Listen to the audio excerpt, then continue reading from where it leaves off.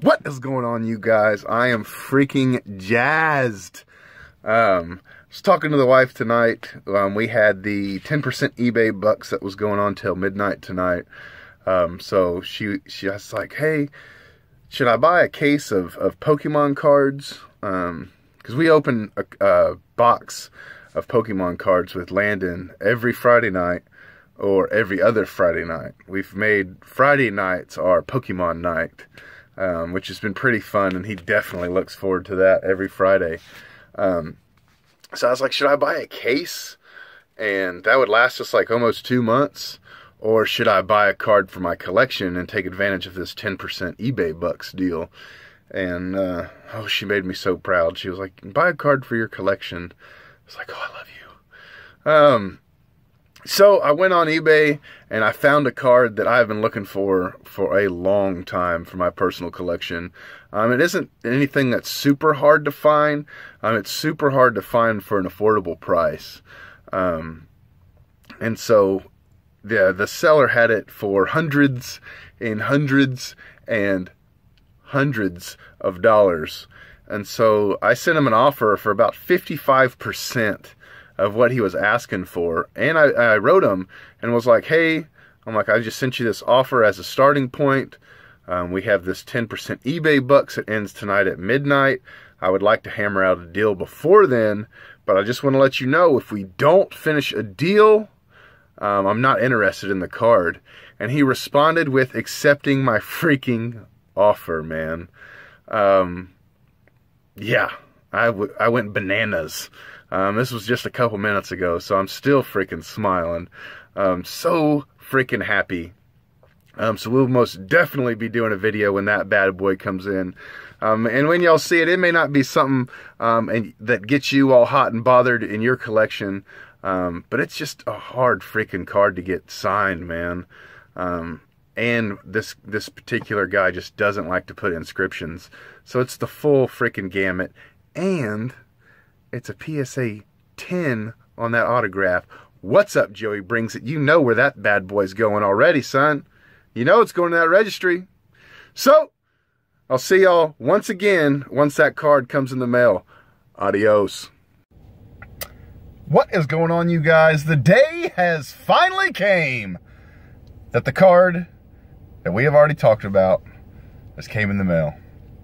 Um, if I would have known this card would have been in this particular package, um, I would have done it live, if you will, um, here, but you wouldn't think someone would ship a pretty damn expensive card in the same little 30 cent padded mailer that they would send like a freaking, uh, I don't know, Rafael Palmeiro Diamond Kings card in.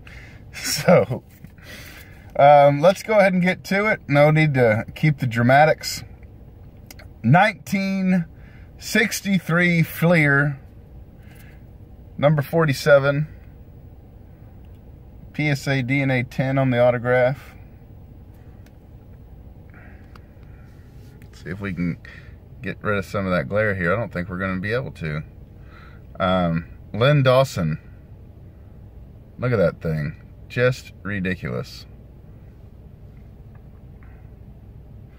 So, man, that is terrible that that doesn't show up better than that.